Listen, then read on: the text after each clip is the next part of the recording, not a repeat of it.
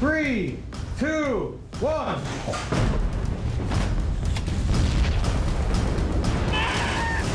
I was debating like who had the hardest time because everybody had to do so many stunts and everything.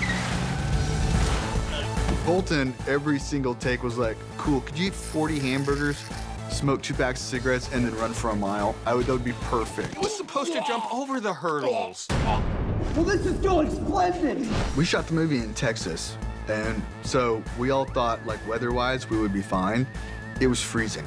The coldest winter in Austin ever. It's actually colder in Austin today than it is in England.